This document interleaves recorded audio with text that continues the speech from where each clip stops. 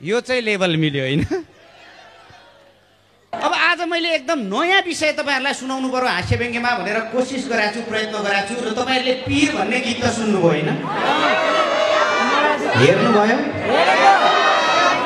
अब त्यो पिर भन्ने गीतमा विवाद पनि आयो थाहा भयो?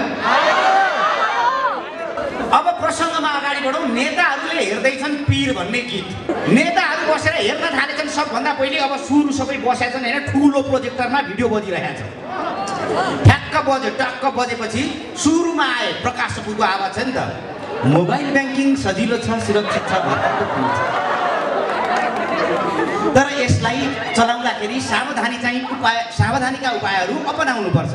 भनेपछि शेरबहादुरले प्याच थिच्नुभयो भर्खरै बाबा यसमा के नराम्रो? ठिकै सामान्य त बनाउनु पर्यो नि भाइ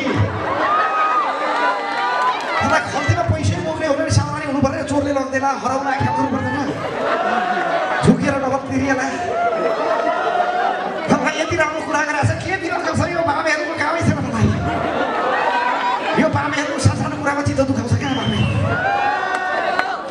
केपी हुँदा के भन्छ बामेहरू भनेर एउटै बास्केटमा नहाल्नुहोस् न। सबै उस्तै हुँदैन। ऊ पनि कम्युनिस्ट त पनि कम्युनिस्ट भनेर एकै दृष्टिकोणले हेर्न मिल्दैन। कट्टर र भुइँ कट्टरमा धेरै अन्तर छ।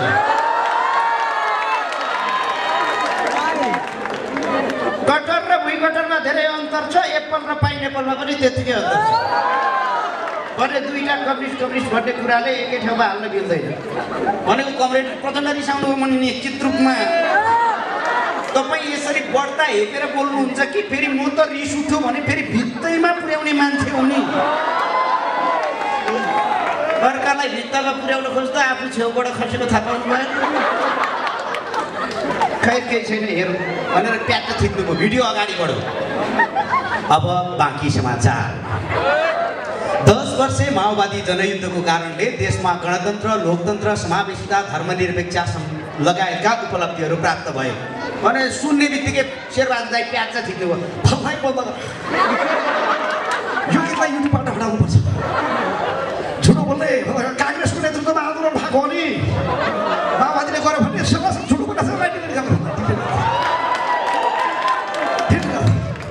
उता केपी ओली के भन्नुहुन्छ हो त? त्यो बैसठी त्रिसठीको आन्दोलनको फुटेज हेर्ने भने सबभन्दा धेरै झन्डा हाम्रो पार्टीको छ। कहिले पनि अनुहार जुम गरेर देखाइदिन्छु हाम्रो पार्टीको मान्छे धेरै छ। गर्दा कुरा गर्ने? भनेको प्रचण्ड कमेन्ट भन्छ मैले निश्चित रूपमा बैसठी त्रिसठीको आन्दोलन चल्दै गर्दा तपाईँ बयल गाडाको चक्कामा हावा हाल्दै हुनुहुन्थ्यो भन्ने कुरा। इतिहासको अपव्याख्या नगर्नुहोस्। म बयलगाडाको पक्षमा होइन बयलगाडाको विपक्षमा थिएँ। बयलगाडा चढेर अमेरिका पुग्न सकिँदैन भनेर बुलेट ट्रेनको चक्कामा हावा हालिरहेका थिएँ। यो कुरा चाहिँ ख्याल गर्नुहोस्।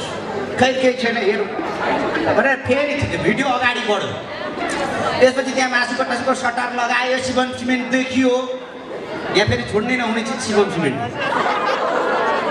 सर अगाडि गयो घरमा पुग्यो बुढीले सोध्छिन् कति बेच्यो बर्डफ्लूले गर्दा खासै बेच्न सकिएन पाँच सात किलो। अब बुढी के भन्छन् पाँच सात किलो मासु बेचेर कहिले उँभो लाग्ने? देउवाजाले झ्याप रोकेर अब नदीमा बेचेको मान्छे त उँभो लागेको छैन मासु बेच्ने।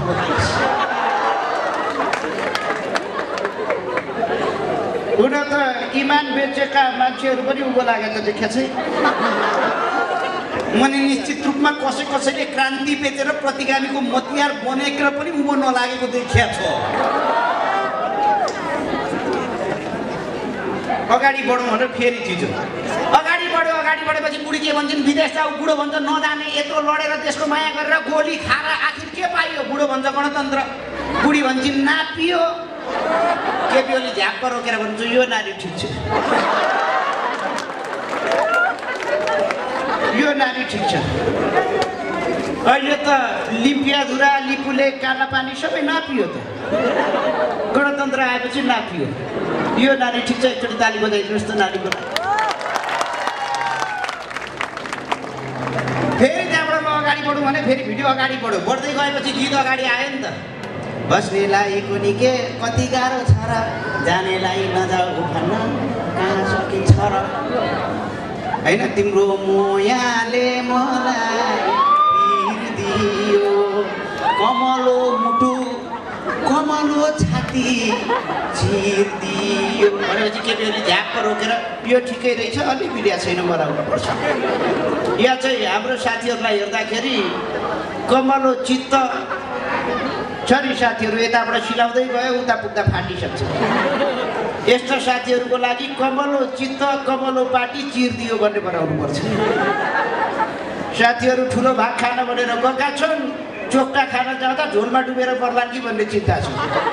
पौडी खेल्न सिकिराख्नुहोस् अनि शेरबहादुरजी पौडी खेल्दा पनि औलो चाहिँ दिइराख्नुहोस् नत्र डुब्छन् केटाहरू। भनेको उताबाट माधव नेपाल बिचकेर आउनुभयो। सङ्घर्षको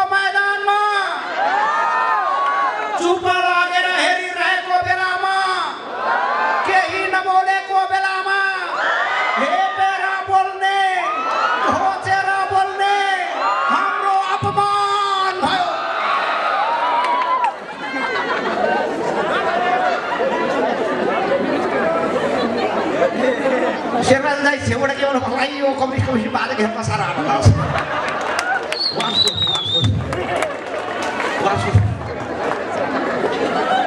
वासको गरिरहेको छैन अगाडि बढौँ भनेर फेरि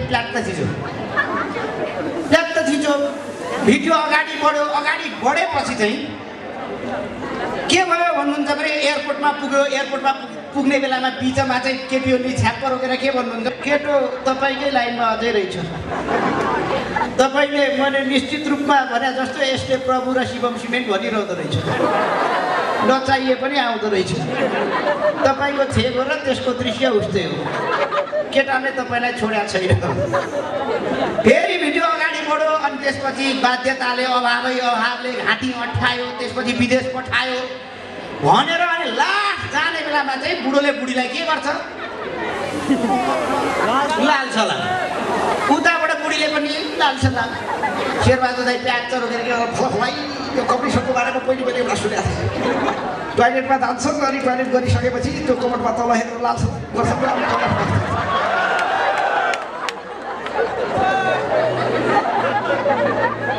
सुनेको थिएँ हो जान लागेको छ श्रीमती आँसु यसो भाइ यो कम्युनिस्टहरू कस्ता पापी जहाँ पनि यसो गरेर हुन्छ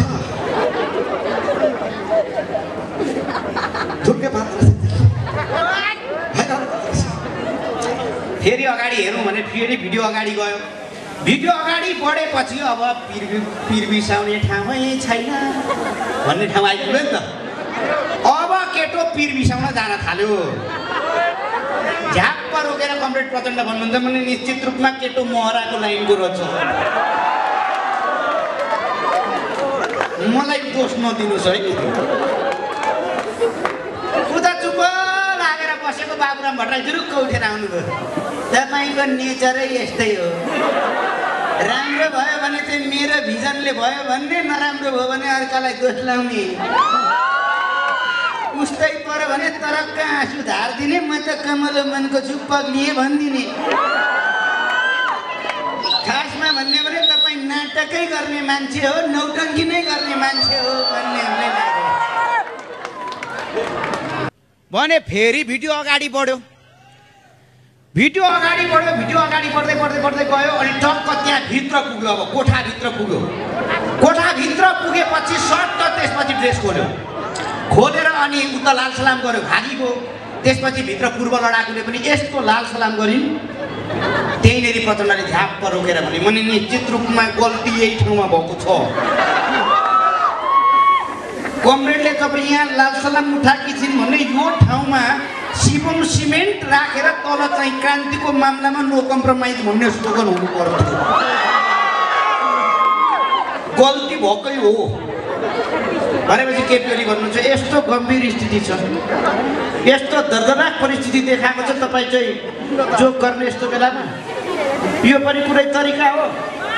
भनेपछि कमरेड प्रचण्डले भन्नुहुँदो रहेछ मैले निश्चित रूपमा यी नानीले बेचिन् त आफ्नो शरीर मात्रै बेचिन्।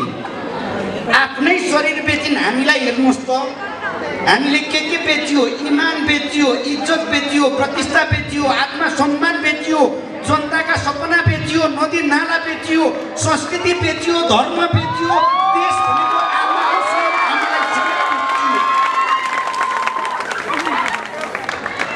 यिनले त आफ्नो शरीर मात्र बेचेकी छिन् यस कुरामा हामी जतिको मान्छेले चाहिँ कठैबरा भन्नुपर्छ जस्तो लाग्दैन।